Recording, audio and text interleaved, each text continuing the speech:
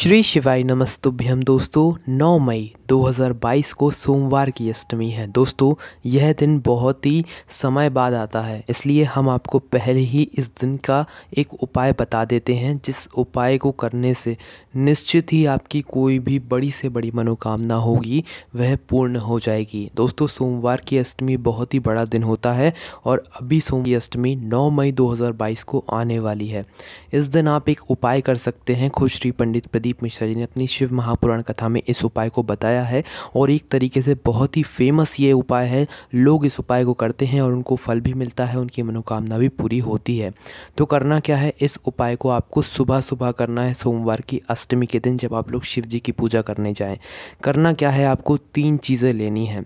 इकतीस इकतीस इकतीस लेनी है, इकतीस चावल के दाने लेना है, इकतीस हरे मूंग के दाने लेना है, टूटे वाले नहीं, जो पूरे गोल गोल होते हैं ना, वो इकतीस हरे मूंग के दाने लेना है और इकतीस ही बेलपत्र लेना है और लाल चंदन अपने साथ रख लेना या पीला चंदन जो आपके पास हो, वो रख लेना ठीक है? शिव जी के मंदिर पहुँच जाना नौ मई को सोमवार की अष्टमी के दिन, ठीक है? शिव जी के मंदिर पहुँचने के बाद सबसे पहले जो आप इकतीस चावल के दाने लेकर गए हैं, यह टूटे नहीं होने चाहिए, ठीक है? पूरे आखा होने चाहिए। इकतीस चावल शिव जी के मंदिर लेकर पहुँचो और सबसे पहले इकतीस चावल के दाने निकालो और जो शिव जी की जो चौखट होगी, जब आप लोग शिव जी के मंदिर के अंदर घुस रहे होंगे तो आपका जो सीधा हाथ होगा, उस सीधे हाथ पर आपको अपनी मनोकामना को करते हुए, जिस मनोकामना के लिए आप सोमवार की अष्टमी का यह उपाय कर रहे हैं, अपनी वह मनोकामना को करते हुए इकतीस चावल के दाने जो है, आपको शिव जी की जो चौकट होगी, वहाँ पर समर्पित कर देना है मतलब वहीं पर रख देना है, ठीक है? एकांत में किसी जगह पर चौकट पर रख देना है। और दूसरे बात, फिर आप शिव जी के मंदिर के अंदर घुसिए। अंदर घुसने के बाद, अब जो शिवलिंग के सामने जो नंदी बाबा बैठे हुए होते हैं, उन नंदी बाबा के ऊपर मतलब ऊपर नहीं, जो नंदी बाबा का पैर उठा हुआ होता है, आपने देखा होगा, एक पैर उठा हुआ होता है, उस उठे हुए पैर के पास आपको इकतीस हरे मूँग के दाने समर्पित करने हैं, ठीक है?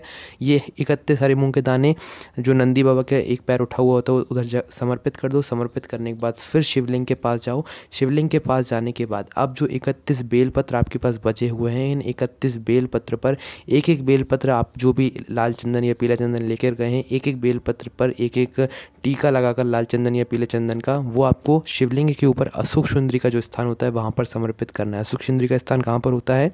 जो जलाधारी होती है, जलाधारी का आगे का हिस्सा जहाँ से जल बहता हुआ जाता है, उसका जो बीच का हिस्सा होता है, मोटी सी जो लाइन होती है, वो अशोक सुंदरी का स्थान होता है। उस स्थान पर आपको यह बेलपत्र समर्पित करना है। एक एक बेलपत्र करके समर्पित करना है चंदन लगाओ फिर एक बेलपत्र समर्पित समर्पित करो, चंदन लगाओ, फिर एक बेलपत्र समर्पित करो। बेलपत्र को समर्पित ऐसे करना है जो डंडी का मुख रहेगा, वो जलधारी की ओर रहेगा, ठीक है? और बेलपत्र आपको उल्टी करके ही समर्पित करना है। और जब आप लोग ये बेलपत्र समर्पित कर रहे हों, उसके बाद अपना हाथ जोड़कर भगवान से विनती कर लेना कि भगवान, हमारी यह मनोकामना है, वो आप पूरी कर दीजिए। दोस्तों, इस उपाय को करने के बाद अगली सोमवार की अष्टमी आने से पहले आपकी वह मनोकामना पूर्ण हो जाएगी, जिस मनोकामना के लिए आप यह उपाय कर रहे होंगे। पिछली बार जिन लोगों ने उपाय किए होंगे, उनकी मनोकामना कामना ज़रूर पूरी हो गई होगी। हमें कमेंट करके ज़रूर बताइएगा। ओम नमः शिवाय, जय भोले अब श्री शिवाय नमस्तुभ्या।